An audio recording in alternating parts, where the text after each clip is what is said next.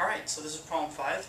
Problem 5 reads, find the critical numbers of this function, sine squared x minus cosine of x, on this domain from 0 to 2, 2 pi.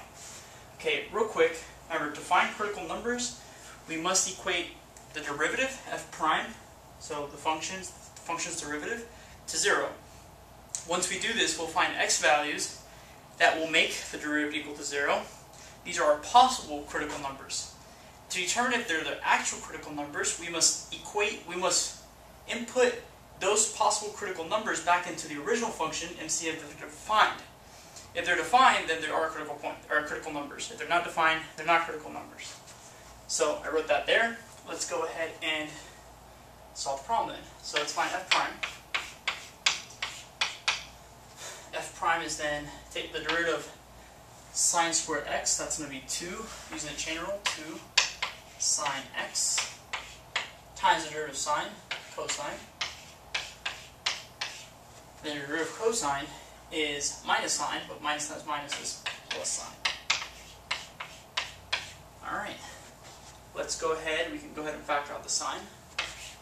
So f prime of x is equal to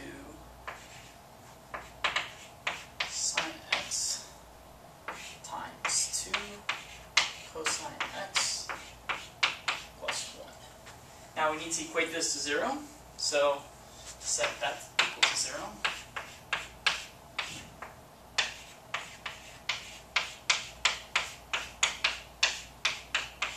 Okay, so if this is equal to 0, then this is equal to 0, or this is equal to 0. So, find when sine of x is equal to 0, and when 2 cosine x plus 1 is equal to 0.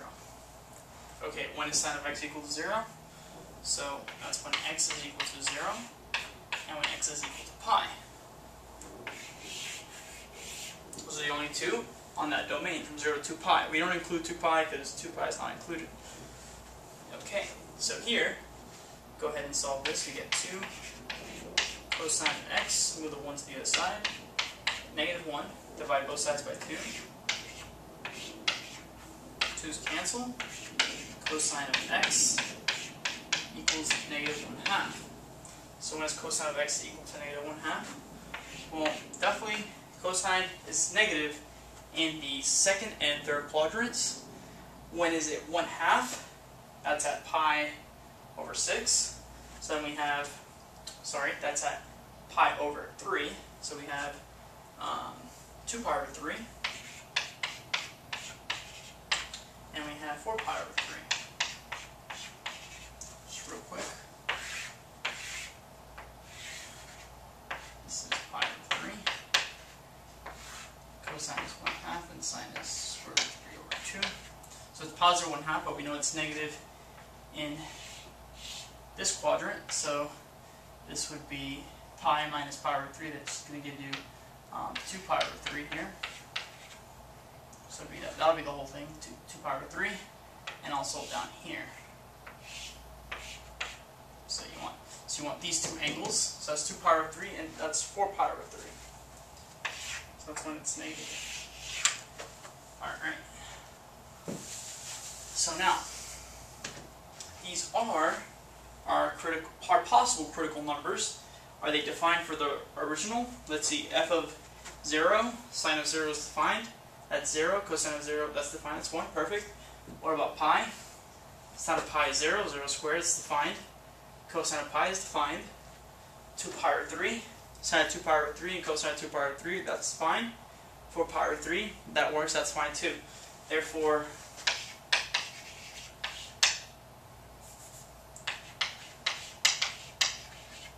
therefore, our critical numbers are x is equal to 0, 2 pi over 3, pi, and 4 pi over 3.